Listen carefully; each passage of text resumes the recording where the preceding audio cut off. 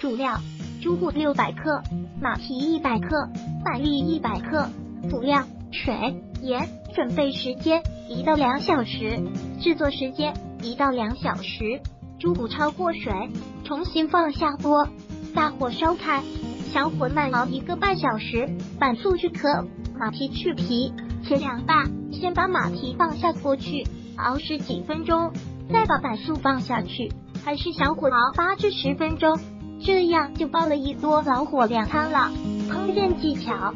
马蹄要先放下去煲，因为它煲久了汤很香甜，口感也还是一样脆。如果喜欢本视频，请分享并订阅本频道。